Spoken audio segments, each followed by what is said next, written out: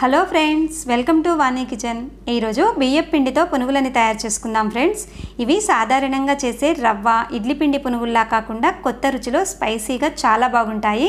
వీటిని డైరెక్ట్గా తిన్నా లేదా పల్లి చట్నీతో తిన్నా సరే చాలా టేస్టీగా ఉంటాయి. వీటికి నూనె కూడా ఎక్కువగా పట్టదు. వీటిని తయారు చేయడానికి గంట లేదా రెండు గంటల ముందుగా బియ్యాన్ని నానబెట్టుకోవాలి. నానిన బియ్యాన్ని మిక్సీ గిన్నెలోకి తీసుకొని రెండు టేబుల్ స్పూన్ల పెరుగు అంటే అరకప్పు పెరుగుని మాత్రమే వేసుకొని వీలైనంత మెత్తగా మిక్సీ పట్టుకోవాలి. పెరుగు అనేది మరీ ఎక్కువగా కూడా వేయకూడదండి. పిండి జారుగా తయారవుతుంది. అంటే ఒక కప్పు బియ్యానికి అరకప్పు పెరుగు అయితే కరెక్ట్గా సరిపోతుంది. చూడండి ఈ విధంగా ఉండాలి గట్టిగా. ఇప్పుడు దీనిని ఒక గిన్నెలోకి తీసుకొని అరకప్పు చిన్నగా కట్ చేసిన ఉల్లిపాయ ముక్కలని వేసుకోవాలి. ఆ తర్వాత ఒక చిన్న క్యారెట్ తురుమును కూడా వేసుకోవాలి. ఈ క్యారెట్ తురుము అనేది ఆప్షన్ మాత్రమేనండి. ఇష్టమైతే వేసుకోవచ్చు లేకపోయినా స్కిప్ చేసేసేయచ్చు. ఆ తర్వాత కొద్దిగా కొత్తిమీర తరుగు మూడు లేదా నాలుగు పచ్చిమిర్చిని వీలైనంత చిన్నగా ముక్కలుగా కట్ చేసి వేయాలి. ఆ తర్వాత అర టీ స్పూన్ జీలకర్ర రుచికి సరిపడా ఉప్పు చిటికెడు వంట సోడా వేసుకోవాలి.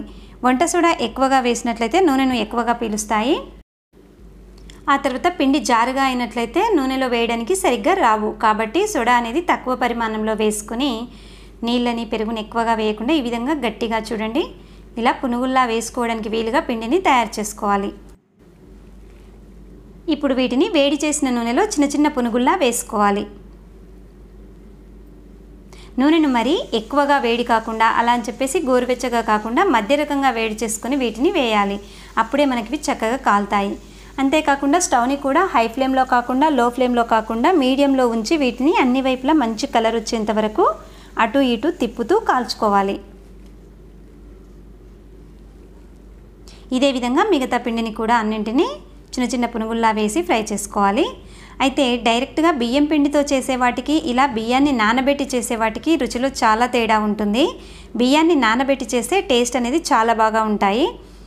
అదే ఒకవేళ డైరెక్ట్గా బియ్యం పిండితో చేస్తే ఇంత రుచిగా అనిపించవు. మరి ఈ వీడియో నచ్చినట్లయితే లైక్ చేసి షేర్ చేయగలరు. వీటిని డైరెక్ట్గా కూడా తినొచ్చు లేదైనా పల్లి చట్నీ లేదా కొబ్బరి చట్నీతో కూడా తినేసేయచ్చు. ఓకే ఫ్రెండ్స్ మరిన్ని వీడియోస్ కోసం కింద డిస్క్రిప్షన్ బాక్స్ని చెక్ చేయండి.